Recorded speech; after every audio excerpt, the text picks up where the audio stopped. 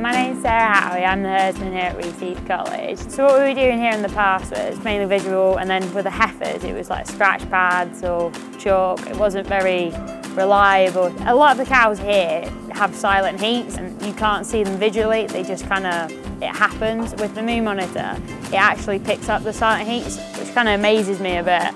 We're actually picking up heats before they're actually ready to serve, which is then making it a less cost when it comes to trying to get them in calf because you're using your prostaglandin, trying to put them on the program, and get the vet out here to see what's going on.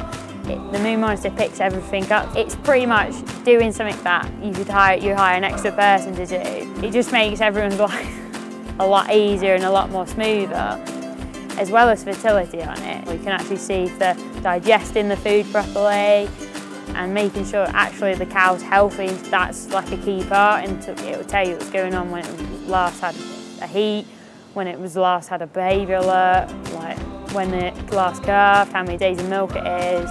It just tells you everything and it makes it a lot easier instead of going back to the office and then trying to search up and then coming back out to get the cow out. You can look at it there and then and get the cow out. It's less stress on her and it's less work for you, so it's less labour intense.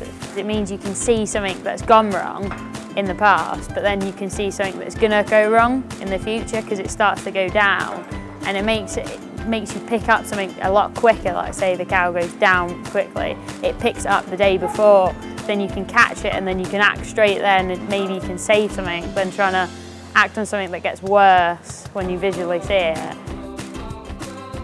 Using my phone was dead simple to me and once it's there, you, you can't go back from it. It's like it takes 10 minutes to learn how to go for a nap and it's amazing. I recommend you go and try a farm that has it for a few weeks and if it, you know, and you'll actually get the hands-on experience and I'm sure that you'll love it because once you, you see it in place, you, you just, it makes, you look at it and you think, why don't you have it in place?